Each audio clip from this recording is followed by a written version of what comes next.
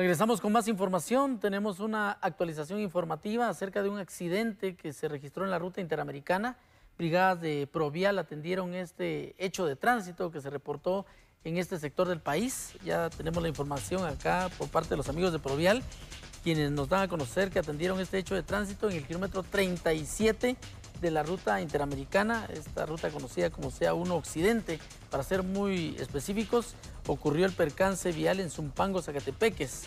Una persona fue trasladada y el carril hacia el occidente se encuentra obstruido. Acá eh, podemos observar cómo este camión es eh, un percance que involucra a vehículos del transporte de carga pesada y es por ello que autoridades de Provial tuvieron que colocar conos en este lugar para hacer que el tránsito se detuviera y que no eh, pues, fluyera más rápido porque podían ir a impactar con estos camiones. Así que por favor hay que tomar las precauciones del caso porque cuando se trata de vehículos del transporte de carga pesada, en este caso sí el congestionamiento vial se va a convertir un poco más complicado, más fuerte en este sector del país.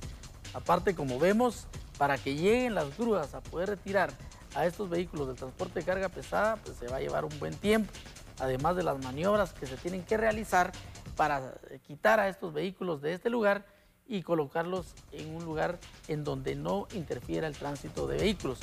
Las brigadas de Provial están realizando los esfuerzos necesarios en colocar conos, pero recordemos que sí, el impacto va a ser bastante fuerte. Así que por favor, mucha precaución, mucha paciencia, sobre todo a todas aquellas personas que se dirigen por la ruta interamericana y específicamente en el kilómetro 37 de esta ruta interamericana porque sí va a tener complicaciones en el tránsito. Aparte que estábamos viendo en una de las tomas eh, que hay material esparcido del, producto que llevaba uno de los camiones, es lo que se podía observar y más adelante Provial seguramente nos va a estar actualizando cómo se encuentra esta ruta principal de nuestro país.